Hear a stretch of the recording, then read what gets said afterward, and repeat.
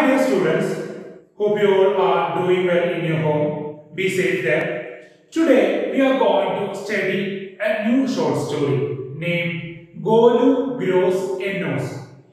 It is written by one of the most famous short story, novel and children literature writer of all time named Joseph Rudyard Kipling. And he have even got Nobel Prize for Literature in the year 1907. He was born in Mumbai, India, and his life in India have reflected a lot in his books like Jungle Book and so on. So let us get into the chapter. The author is bringing back us to a world where elephants doesn't have a huge trunk. So the protagonist of the story or the main character in our story is Golu. Golu is a naughty small elephant and he also doesn't have a huge trunk that the elephants in nowadays have. He had a bulgy nose like a boot which can wiggle from side to side but can't use like a trunk that nowadays elephants are using. Always Golu had queries in his mind. He always asked doubts to his elders. One day he went to his aunt who is an ostrich and he asked her, Why are you not flying like the normal birds that we see all around? Then he went to the giraffe who is his tall uncle and he asked him, Why are your skin with so much spots? Then he went towards his big uncle who is a hippopotamus and he asked him, Why are your eyes always red in color? Then he went to his hairy uncle who is a baboon and he asked him, Why the melons taste like melons? all the elephants went into confusion because they don't know the answer for these questions. And they all together said to our cute and naughty Golu that you are a naughty boy and you always ask difficult questions. One day he saw a myna bird who was sitting in a tree and he asked that bird what does a crocodile eat for its dinner? And the myna bird doesn't even know what does a crocodile. So he, uh, that bird advised him to go to the Limpopo river and ask the crocodile itself. So nobody is answering the questions that is raised by our Golu who is always full of doubts. So he decided to go to the Limpopo river and he said to his family members that bye bye I am going to the great Limpopo river. He took along with him uh, 100 sugar canes, 20, uh, 50 dozen bananas and 25 melons for having to while going towards the river. On the way, he met a python. Python is a big snake, okay? And he asked that python and uh, that, what does a crocodile have for its dinner?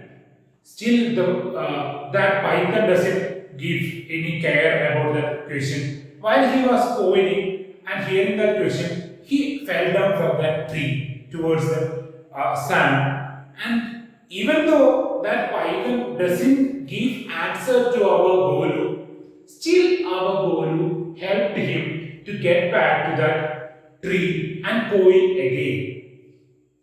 His expedition went on and he reached the banks of it, that our great Limpopo river. He saw a small, a big log of wood laying there. That log of wood was no, one else than the crocodile himself. And he asked uh, our Golu that why are you asking so much questions? Because I am the crocodile.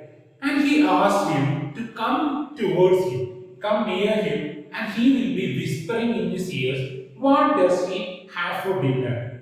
Primarily, the uh, our Golu have a fear in his mind because he never have seen a crocodile and he doesn't know the actual character of a crocodile. But when the crocodile says it again and again to come near him and he will be whispering what is he going to have for dinner. Golu just went near a crocodile. Suddenly, a crocodile tried to grab him uh, by biting at his nose, our that boot-like nose, and says that today I will be having a baby elephant for my dinner. Our Golu was very frightened, really frightened, and he cried like anything. Mr. Crocodile, leave me alone. Why are you doing this to me? Because I only have a dog with me. But the crocodile doesn't allow him to go.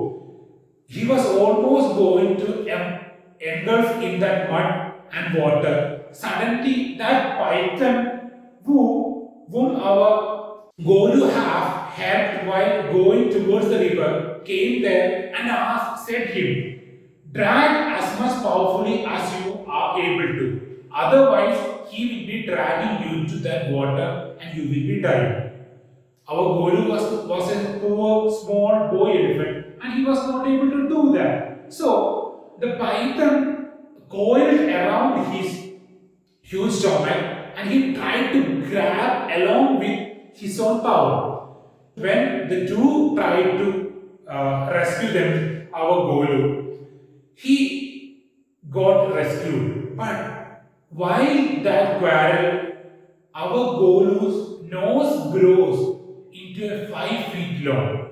Golu was very sad because he never had a large nose like that. And he waited there for two days and to let that pain and that heat suffice be cold and that uh, let that nose go back to its normal usual place. But the pain went away, but the nose doesn't went back to its normal shape. Golu was really sad. But on the other day, a fly came there and pitched at the back side of a Golu. Golu now had a long nose, right?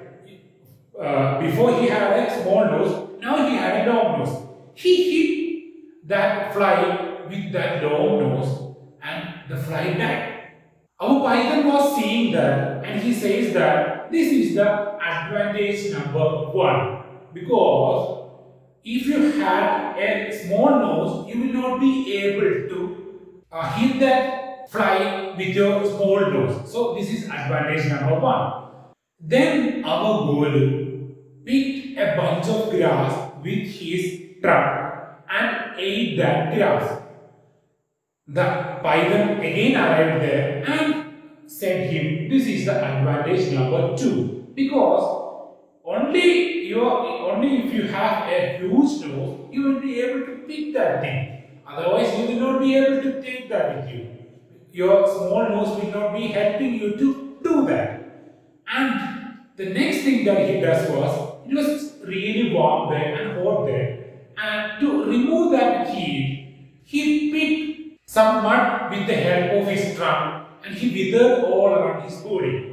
And he, the Bible again came there and said, this is the advantage number three. Because if you doesn't have a long trunk like this, you will not be able to do this and you will be uh, getting into trouble again by entering to the river. Where the crocodile is there and that mud helped him get rid of the heat. So the story ends there. With all gratitude, our Golu thanked the python who have helped him and given him uh, life advices. Have you people ever heard about this guy named as Oscar Pistorius? He is also known as the Blade Runner. He doesn't have a leg. Still, with artificial legs, he was able to compete even in the Olympics. Have you ever heard about this guy known as Nick Queen? He, when, when he was born itself, he doesn't have any limbs and he is one of the most successful motivational speakers of all around the world. Do you know why I spoke about these two guys?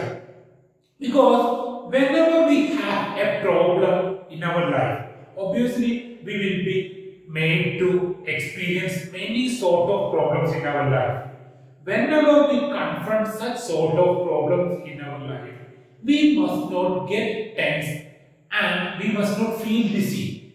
We must not feel dejected. We must use that problem for our own betterment. Like a bull who used his long nose for his uh, doing all these things in his life. Like Oscar Pistorius, who even without legs, who have reached great heights. And like our Nick who even without limbs, he is traveling all around the world and he's leading a successful family life too. Problems are part of everyone's life. We, will, we must not feel dejected by the arrival of problems. We must be able to solve those problems, tackle those problems, and be successful. I hope you people love the chapter and realize the essence of the chapter. If you confront any doubts, please feel free to ask by mobile or in WhatsApp. Thank you for watching.